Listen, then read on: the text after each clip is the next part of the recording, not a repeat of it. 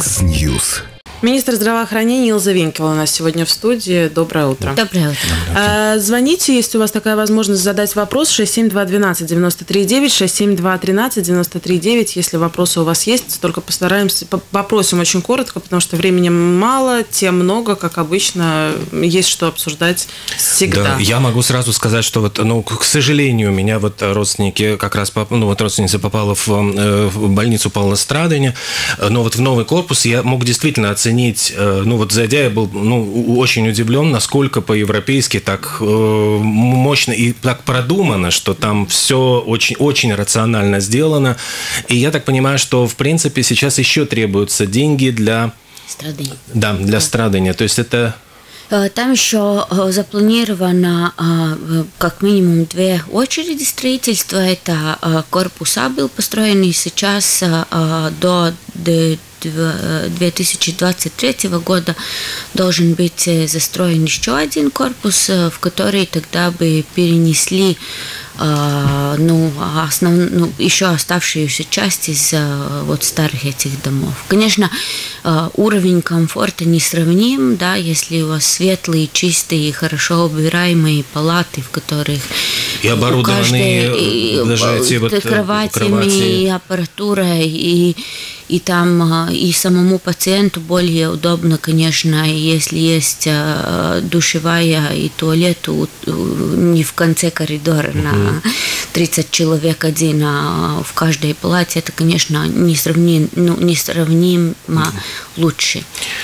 Но требуется еще 29 миллионов э, евро, и я так понимаю, что вот проходила в прессе информация, что их возможно получить все-таки от Евросоюза, да? И да, это вообще э, вот эти э, застройка, она а, финансируется европейскими фондами, а то, что еще э, помимо 91 миллиона, который предназначен для э, постройки следующего корпуса, нужно еще 29 э, деньги, конечно, огромные. А, Тут, к сожалению, играет роль, э, что открывая вот этот, э, э, этот э, конверт э, европейских денег, э, поскольку это такими волнами, получается, очень э, ну, подскакивают цены на строительство, э, и там, чтобы ну, понять масштаб, все эти вещи, новые корпусы были проектированы почти 10 лет назад, да. Так что, конечно, те расценки, которые э, 10 лет были назад 10 были? лет назад, сейчас, к сожалению, недействительны. И там э, вот получается, что отчасти это и э, подорожание цен э, в строительстве, отчасти это э, пересмотренные новые нужды, и более удобно для пациента и медперсонала. И, ну вот, к сожалению, тут мы э, сейчас э, в такой ситуации оказались, что надо еще дополнительно денег. Но хочу сказать, что есть один очень хороший сигнал, э, что э, в этой очереди на постройку следующего корпуса на строительство квалифицировались 9 строительных компаний. И, как мне коллеги говорили, две из них такие, которые, в принципе, служат сигналу того, что конкурс э, был э, э, публикован без э, заранее известного победителя. И я, конечно, очень рада тому. Очевидно, у нас вот как-то этому новому правительству и мне в той очереди получилось дать сигнал, что тут э, следует побороться по-настоящему за конкуренцию, и никто ничего заранее не заготавливает. Вот по поводу нового правительства, тут э, министр регионального развития господин Пуца дал такой сигнал, наверное, всем министрам, не знаю, насколько там это было подстава или нет, говоря таким простым языком, а отчитался о сроке, который он провел, ну и все министры провели, Да, это 200 да. дней, вот он сказал, чего он достиг, и как-то начали с других тоже спрашивать, что, что вы можете рассказать, кто-то говорит, что 200 дней это мало, только вот на раскачаться, кто-то говорит, что много, что, что для вас эти 200 дней, что вы можете сказать? И и чем я э, реально горжусь, э, у нас получилось с коллегами и в министерстве, в том числе и в правительстве, принять э, поправки к одним ну, МК noteikumi о том, что с, с апреля следующего года мы начинаем применять другую практику по лекарствам, которые компенсируются государством.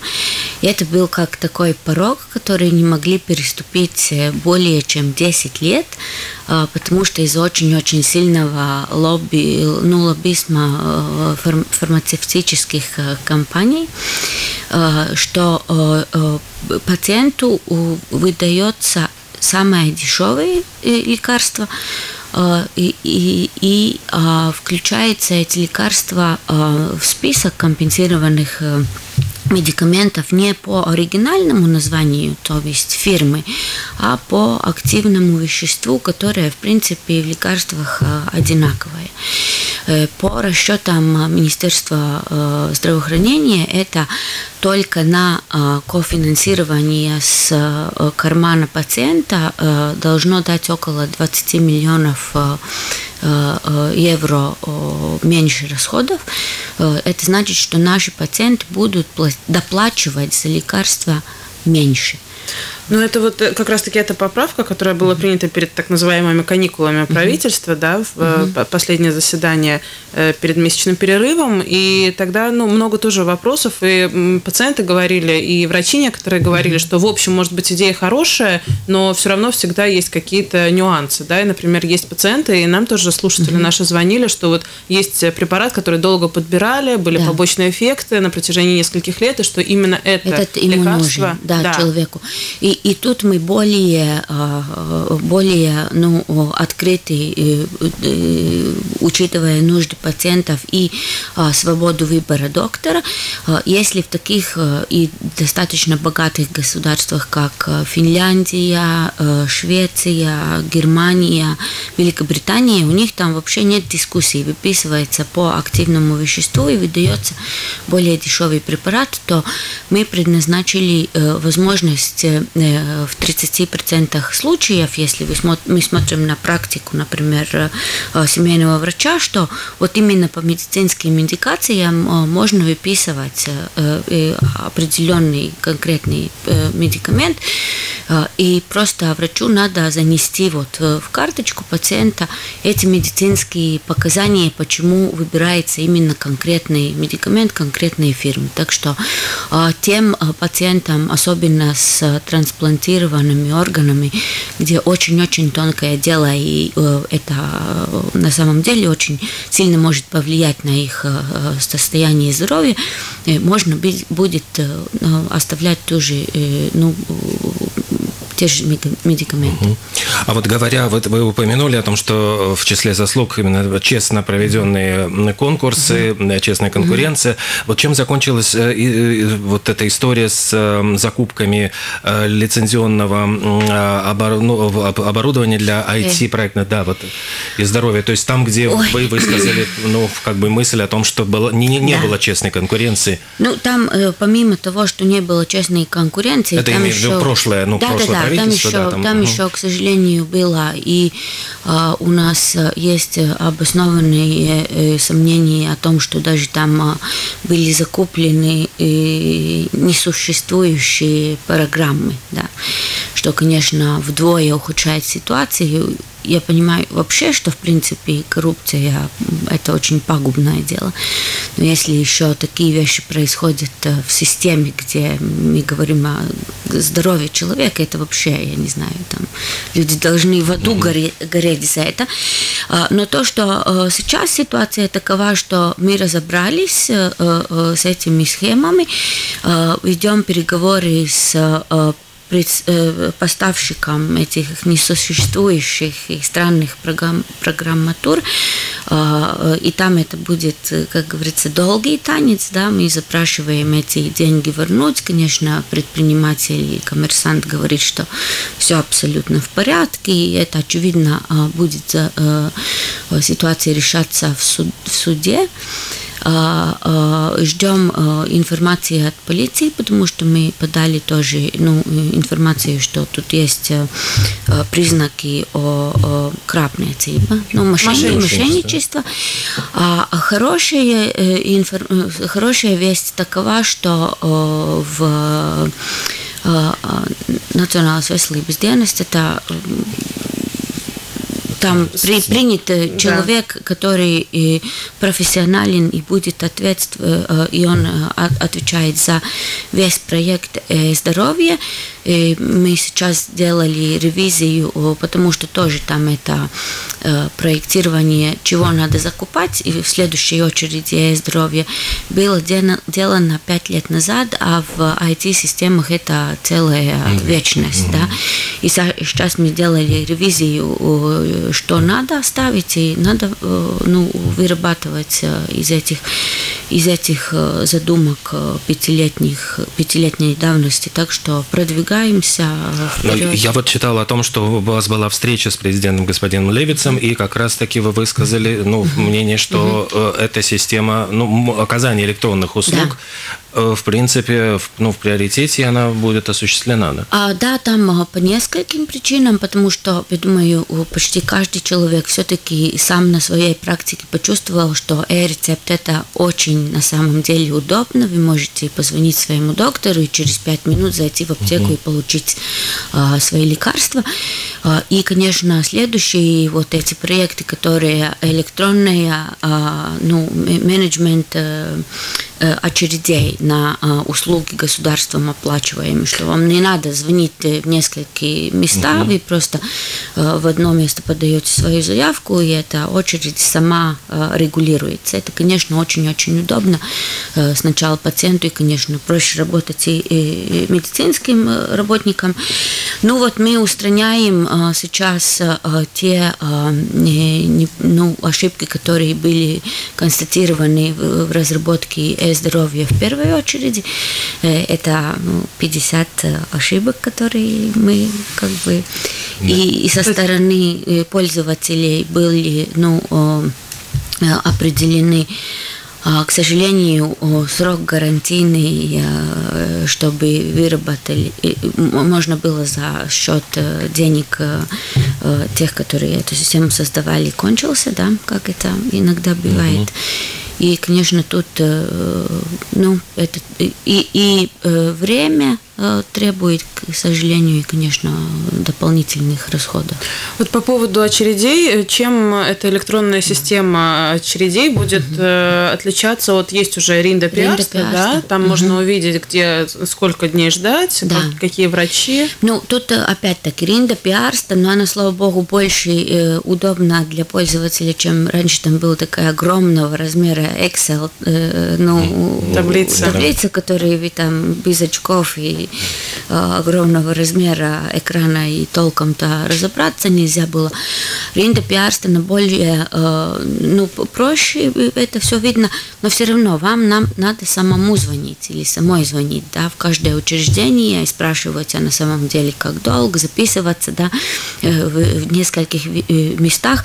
А вот эта электронная очередь, она была бы такая, что вы записываетесь, в принципе, а, а, ну, указывая, в каком регионе вы желаете получить эту услугу, и э, записываетесь только в одном месте, и это по принципу ну, э, э, этого самого рауследа. Ну, что вам не надо звонить и отказываться в других местах, mm-hmm. эта очередь, она сама предлагает варианты. И... Самые То есть, если, например, да. в пять мест записался да. человек в ожидании, где будет быстрее, да. как только он получил эту услугу, он сразу исключается Исключается, из да. И потому что и сейчас так, и я понимаю людей, э, надо услугу, вы записываетесь, я не знаю, там в пяти-шести местах одновременно, вам надо ждать, э, я не знаю, там полтора месяца, конечно, забывается. И когда ваша очередь где-то настает, конечно, можно забыть позвонить в другие места и сказать, что вам это э, уже не актуально. А в тех регистрах э, человек считается как еще в очереди, конечно, это не позволяет другим э, получить эту услугу. Так что. Ну вот еще один, мы уже так подобрались к этой теме. Вчерашний, в общем-то, угу. вчера состоялось заседание комиссии срочное, да, из-за ситуации в Даугавпилской больнице, и на этой комиссии было сказано, что около тысячи медицинских работников угу. не хватает у нас, насколько это реальная цифра и насколько это реальные вакансии, или это, например, один врач-гинеколог, э, там угу. он может работать в трех местах, например, да. да, и вот это вот эти вакансии. И если это действительно тысяча, то это, конечно, поражающие цифры, и это понятно, что сейчас вот не э, выделив 20 э, миллионов, мы это не решим, и завтра врачи там у нас чудесным образом не появятся. Более ну, сложная ситуация э, у нас именно с медицинскими сестрами, потому что по статистике, по регистрам врачей-то у нас, в принципе, хватает. То, что распределение врачей не одна, ну, такая однородная, да, в Риге где-то хватает, где-то не хватает, но более острая ситуация в регионах. Но по средним данным мы вот э, посередине Евросоюза и OECD. А вот со сестрами у нас да, точно очень сложная ситуация, потому что если в странах OECD среднее количество сестр на тысячу населения, тысячу людей, это около 9, э, у нас э, четыре, mm. да, у нас в принципе половины сестр не хватает. Что а, делать? Что делать? Ну, тут э, самый надежный метод, что делать, это а, не отказываться от увеличения зарплат, чтобы были нормальные зарплаты, и человек эту сложную работу делая, знал бы, что в конце месяца у него будет это все достойно оплачено. Это самый надежный способ. 120 да. миллионов, да, вот вы говорили. Да, это чтобы выполнить э, обязательства э, и э, эти самые солиями. Да, но обещания. Обещания, да, данные прошлым э, правительством и в то же самое время. И этим Саймом новым после выборов э, коллеги вот в полном здравии и при полном э, смысле э, сделали поправки в законе, и вот эти конкретные цифры в конце прошлого года занесли, что надо дополнительно 120 миллионов на зарплаты. Ну, вот. А, второе еще, конечно, а, система образования, и это а, тоже одна из вещей, которая сделана за эти 200 э, дней, э, что образование сестр мы делаем более логичное, что сестры учатся сейчас, не буду утруднять, утруднять угу. слушателей, но более логичная система обучения сестр тоже, и, конечно, условия работы, да, насколько они ну, учитывает э, тоже нужды медперсонала. Но быстрых решений не будет, как вы правильно сказали, если у нас нехватка медперсонала настолько велика, и мы не уникальны, вся Европа этим страдает. Э, по расчетам а, а, организации здравоохранения всемирной до 30 1935 года э, в мире целом будет не хватать 13 миллионов медработников по всему, э, ну, по всему миру. Так что э, эта ситуация такая она есть. И просто, конечно, без того, что мы увеличиваем зарплаты, надо все-таки тоже разрабатывать телемедицину, консультации отдаленные, да, специалистами в Риге. Это, к сожалению, но факт будет э, наша реальность. Но вот э, действительно это проблема, потому что э, можно строить новые больницы, закупать новое оборудование, но Есть. вот была еще со старых времен кадры решают все, то есть вот если нет людей, то кто на этом оборудовании будет работать? А, именно, но то, что в медицине развивается, конечно, эти вот все дигитальные решения, угу. да, консультации возможные отдаленно регионально, да, и это используется уже в региональных больницах, да, но опять-таки э, мой прогноз, что э, систему больниц, например, да, э, эту сеть больниц мы будем и дальше пересматривать, и трудоемкие, сложные операции и помощь будет концентрироваться в трех региональных больницах. Это Даугавпилс, Лепая и Валмера.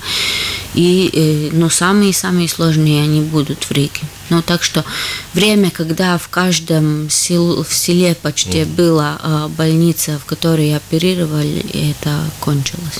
По поводу медсестер еще коротко, если можно. Был момент пару лет назад, когда они массово уезжали да, за границу, mm-hmm. позволяла квалификация, mm-hmm. наше mm-hmm. образование, но не могли здесь работать. Потом вроде как говорили, что они начали возвращаться. Mm-hmm. Действительно ли они возвращаются? И в каком объеме? Так, начнем с того, что не уезжают э, такими большими темп, темпами, а, опять-таки потому, что два года подряд э, было увеличение э, ну, заработных плат. И то, что говорят руководители больниц, если сейчас правительство свое слово не сдержит, то люди, конечно, очень-очень разочаруются. И а, еще один круг обещаний, э, что будет лучше через незнаемое время, ну кто поверит этому, да? Так что э, потому очень-очень э, Э, важно, чтобы в бюджете следующего года было предназначены деньги для увеличения заработных плат. Но вот что говорят большие больницы, что понемножку все-таки медперсонал возвращается в систему здравоохранения, потому что люди поверили, что будет улучшение. Ну да. вот вы в Твиттере в своем как раз э, высказывали мнение, что для налоговой реформы, к сожалению, нужно будет не уменьшение налогов, а их э, увеличение, увеличение да? Да. А чем... И очень умное увеличение, потому что мы видим, э, как, э, например, пагубно повлияла так называемая налоговая реформа на э, ziedojumi, это пожертвования, пожертвования mm-hmm. да, не, не, организации, спортивным организациям, благотворительным организациям, да, что очень-очень резко упали, упали ну, под, подоход, под, подоходовый налог угу. с предприятий, да, огромное, ну, потому что там сделали это, что инвестиции, угу. если вы инвестируете в свои предприятия, тогда не надо платить э, налоги. Э, если мы смотрим чисто по раскладу, по системе налоговой, мы еще до сих пор все-таки облагаем большими налогами ну, работу, да, меньше капитал. И это нечестно. А, ну, в, в старых демократиях там, э, в принципе, э, капитал облагается такими же налогами, как и э, доходы с работы. Да? А, скажите один, один ну, какой-то повод, почему человек, который работает, я не знаю, например, в максиме, в кассе, да, по 8-10 часов в день, почему ну, нагрузка налогов на его работу больше, чем человек, который получает дивиденды своего капитала. Да? Угу. Так что это а, один э, ну, канал, ну, путь, да, который... путь, который будет мы раньше или позже, я надеюсь, лучше раньше, чем позже, пересмотрим более прогрессивное на доходы именно. И мы знаем, что у нас, например, на piesārņojums, это на загрязнении, да, ну, эти налоги тоже еще есть там вариант, где можно поднимать, но опять-таки это надо делать очень тонко и умно, чтобы налог на, на, на работу уменьшался, а увеличивался на потребление, да, потому что человек может свое потребление регулировать, да, так что, ну, я думаю, что, к сожалению, мы на следующий год не соберемся никакие реформы на налоги. К сожалению, на, на Потому что э, ну, ситуация такова. Э, экономика растет, конечно, но э, пока мы не, не доделаем вот эти изъяны в налоговой системе, конечно, доходы в бюджет меньше, чем нужды. Да? Если мы знаем, что у нас э, на здравоохранение э, не хватает около э, миллиарда евро, да, конечно, это за год никаким образом не собрать, не собрать да. да, но если мы не, не меняем систему налоговую, то, конечно, это мы не соберем и за 10 лет. Вот по поводу бюджета, как раз-таки премьер-министр господин Каринч вчера заявил, что у нас самый большой бюджет, который вообще был до, до этого дня, то есть денег достаточно, осталось их правильно перераспределить, что сейчас вот будет борьба министерств за, за эти деньги, потому что они видят, что больше. При этом э, многие говорят и отмечают и жители, и сами политики, и э, должностные лица, что не всегда э, эти деньги перераспределяются с умом, э, распределяются с умом, что иногда вот, как э, да, вчера говорили, что Министерство сообщения нашло Э, надо было поискать, нашли они там 3,5 миллиона. Нужно было на зарплаты педагогам. Министерство образования тоже вроде как там что-то где-то поискали, поискали, и опять-таки нашли эти деньги. Значит, они как-то есть, если э, правильно администрировать их. А, и есть э, отрасли, в которых э, объем денег, если мы смотрим, он э, на самом деле, ну, конечно, все это в сравнении, да. Если мы сравниваем с другими государствами Евросоюза, то, да, на самом деле объем денег в отрасли, например, образование, он даже выше, чем средние в Евросоюзе, да. Но вот распределение, оно хромает, да, на э, высшее образование у нас э, слишком мало денег отводится, но мы поддерживаем э, сеть школ, которые, ну, в принципе, неэффективны, да. Ну, это чтобы перераспределить, это, конечно, очень кровавые действия, да, это трудно политику, но если мы сравниваем, например, здравоохранение, то тут у нас и по объему абсолютно недостаточно.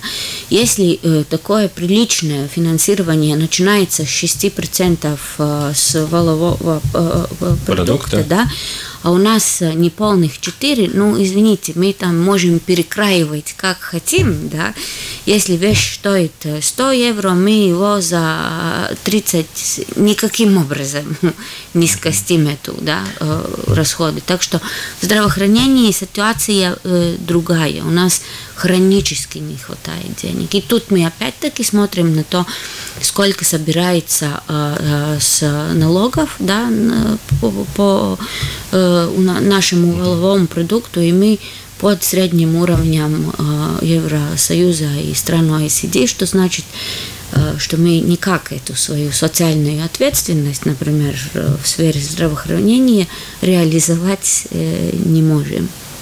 А что с двумя корзинами тогда? Их отменили, при да. этом а, а, камнем преткновения были микропредприятия, ну и та часть населения, да. с которых вроде как этот 1% угу. не убирался. На какой стадии сегодня? И, в принципе, э, Министерство здравоохранения готово э, со своим э, вот этим предложением, что делаем систему, у которой всем относится одинаково, если было принято решение, которое я на самом деле не поддерживаю.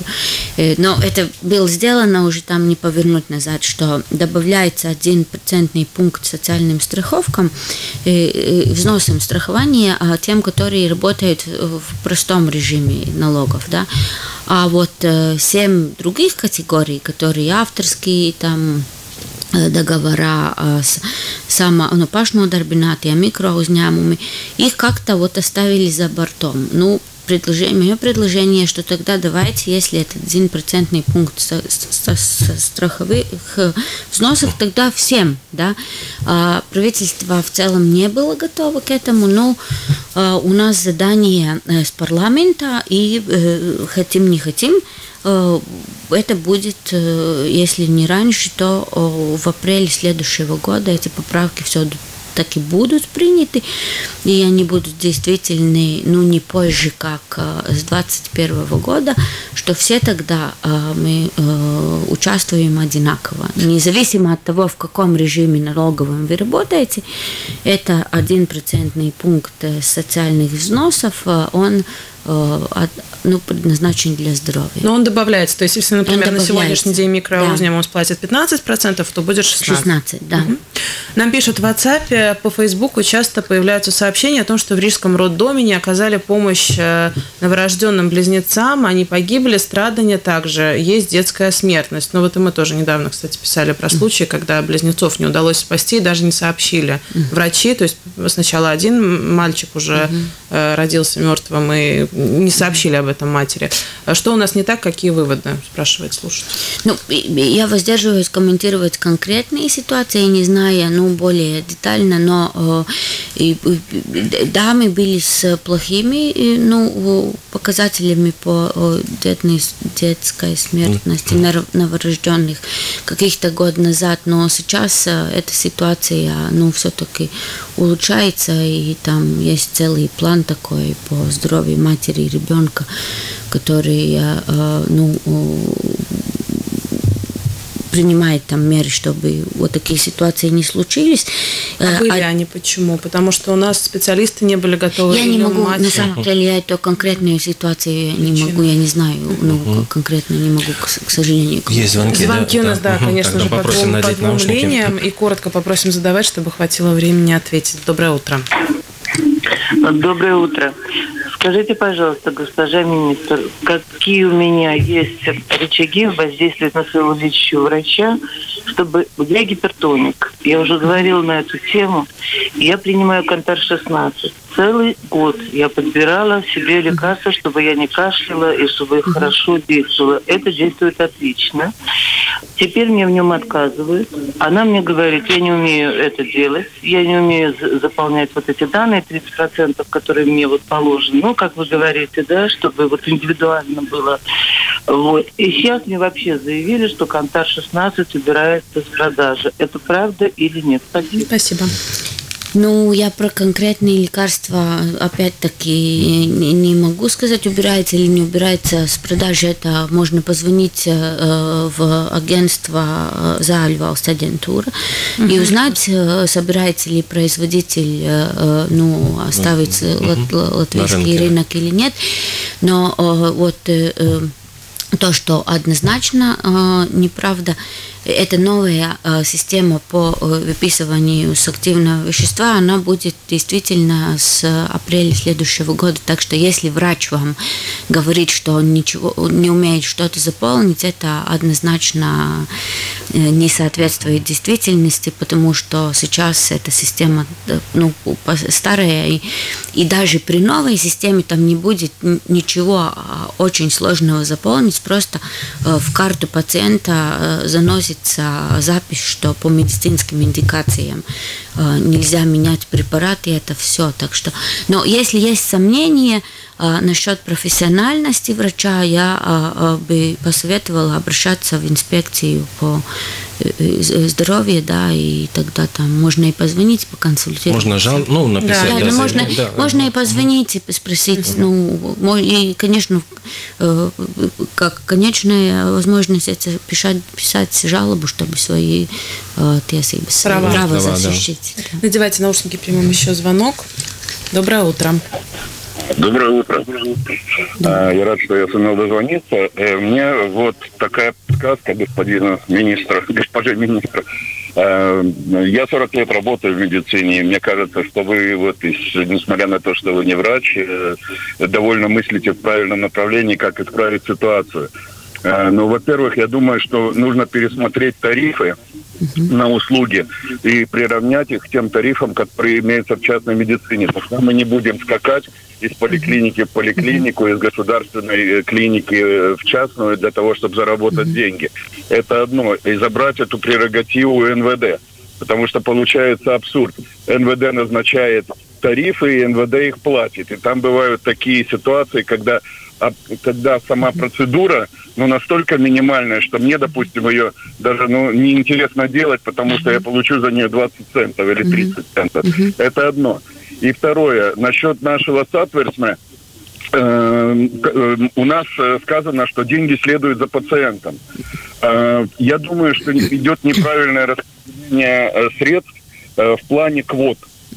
Потому что сейчас ситуация какая?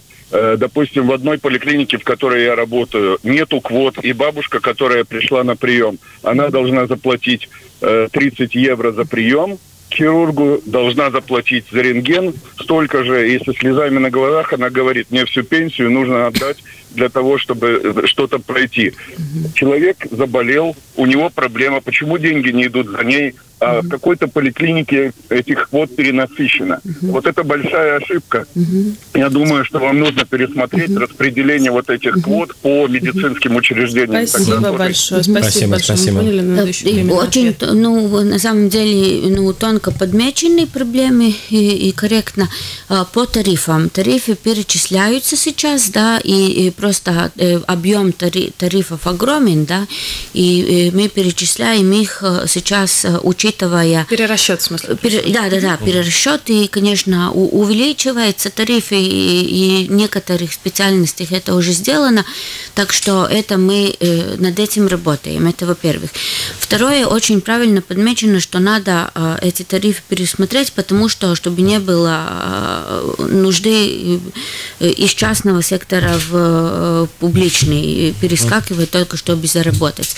Э, одно решение, как удержать медперсонал в больницах государственных и самоуправления, тоже, извините, никакой ракетного этого самого там знаний не надо, нормальные зарплаты, да. Угу. И то, что э, сейчас консенсус подведен, что э, как мотивировать э, врачей остаться и дежура, дежурить в государственных больницах, платить нормально. Так что это тоже в разработке.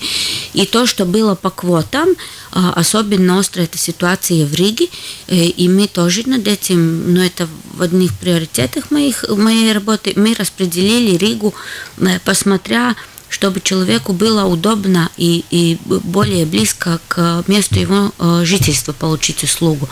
А сейчас это неравномерно э, распределено, и мы просто такие, э, ну, как а, сделали ну, такой на карте буквально обвели кругами и распределили Ригу на 13 таких округов.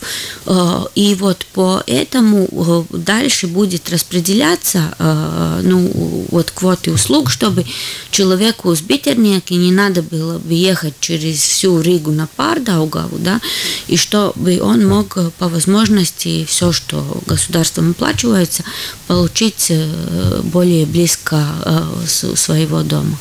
Примем еще один звонок. Хорошо, да. Надевайте наушники. Доброе утро.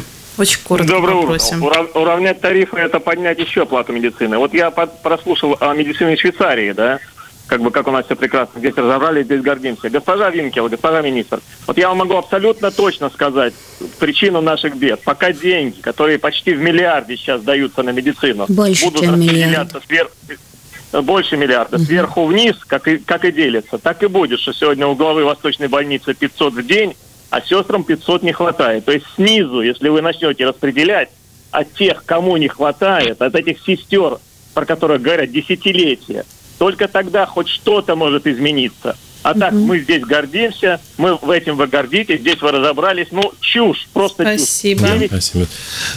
Да, ну, это, кстати, да, э, были вопросы у нас и всегда вот как перераспределяются деньги, почему их так много, но кажется, что все равно не хватает.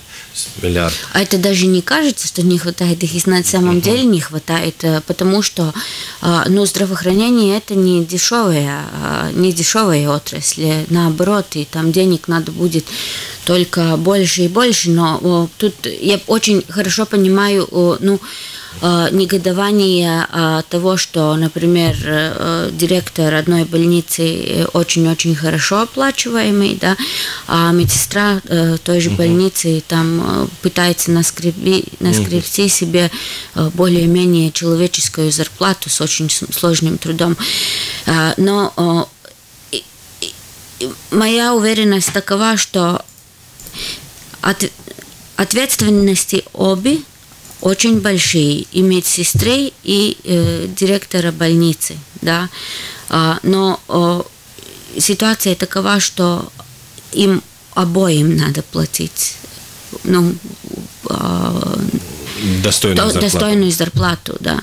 И, и та ситуация отличается, что э, руководитель больницы один, а медсестр очень-очень много. И, конечно, что разница в зарплатах, она всегда будет, потому что руководитель коллектива, который ответственен за, я не знаю, 5 тысяч человек и за бюджет э, э, больницы в объеме 200 миллионов, э, конечно, он всегда везде в мире будет более, оплачиванием более ну, высоко, что не значит, что медсестры не должны получать тоже по... А вот возвращаясь к 6%, вот если все-таки, вот вы говорили о том, что сейчас это 4% угу. от бюджета, а нужно 6%, есть ли все-таки какая-то надежда, что когда-нибудь это вот 6% будет выделяться на здравоохранение? И что для этого нужно сделать?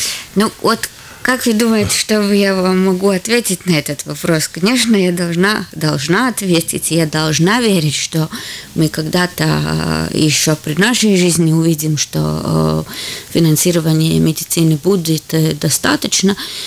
А что для этого надо делать? Как уже я говорила, там два направления. Одно это э, э, ревидировать систему налогов, э, чтобы она и стимулировала ну, это самое uzņēmēju darbību, предпринимательство и облагала более честно налогами тех, у которых с кого можно взять, и оставляла в покое угу. тех, которые сами, сами работают. А второе, более эффективное распределение денег, как уже упоминалось, да. Э, и в самой системе. Так что он в двух направлениях. В начале лета вы выступили с докладом о психическом здоровье. Mm-hmm. Тоже такая была информация не самая приятная для, для общества в целом, mm-hmm. да, наверное, потому mm-hmm. что, например, ту же там депрессию мы, ну, некоторые до сих пор не воспринимают mm-hmm. как болезнь, особенно mm-hmm. там подростки, у них это вообще mm-hmm. постоянно, они в вечной депрессии, mm-hmm. да, и прочее, и прочее. И сделали это приоритетом на следующие два года. И э, вот возник вопрос раньше, например, вы тогда на этой пресс-конференции, когда презентовали, вы сказали, что у нас еще вот это советское чуть-чуть э, мышление, что мы mm-hmm. воспринимаем это, там, например, лечение психиатрической mm-hmm. больницы как наказание. Наказание, да. И тогда еще вот было, да, что это mm-hmm. может быть наказание. И второй, второй такой был путь, это э, избежание, например, армии или там в судебном деле для mm-hmm. того, чтобы там где-то меньше mm-hmm. срок получить, там то, mm-hmm. тоже, да, там можно было получить mm-hmm. какую-то справку. Mm-hmm. На сегодняшний день насколько часто этим пользуются для таких дел, насколько это вам... У меня нету да. данных на, ну, для этого, по, по поводу этого, но э, то, что э, картина в психиатрии, наркологии очень-очень плачевна, потому что об этом не говорят. Это очень такая тоже деликатная вещь, да, и, и человек более готов а, а, делиться своим опытом, если у него, к сожалению, онкологическое заболевание, да, ну такая несчастье случилось, чем, например, форма шизофрении или той же самой депрессии. Потому что там мы как общество не настолько еще со, ну, сочувствуем, да, и, и, и стигматизируется, да, ну сразу говорят, о, он ненормальный, да, и там консеквенции по поводу работы сразу, и, и конечно, это очень острая, очень острая проблема, которую только э, увеличением денег э, э, не решить. И то, что консультируясь ну вот, с самими психиатрами, они говорят, что это старая школа, к сожалению, очень жива еще, что единственная помощь – это человеку с психическими расстройствами, его запихнуть в больницу на 30 дней и просто массивно мочить лекарствами, да, и все а от этого ничего-то не меняется. Он потом выходит э, обратно в жизнь, и его жизнь исковеркана. И так что более э, широкий такой, ну, сеть поддержки, что мы предлагаем этим людям и амбулаторные возможности лечения, более обширная компенсация медикаментов тоже э, с людьми, с которыми зависимы все равно из а, наркологической или с, с, ну, с, наркотиками, это очень острый острая проблема, очень острая. Спасибо. Нам, к сожалению, заканчивать уже надо на сегодня. Отпускать министра. Министр здравоохранения Илза Винкела была у нас в студии. Вам. Звонки, Спасибо конечно, продолжаются, но да, значит, будем приглашать еще. Спасибо вам большое. Спасибо. Всего хорошего.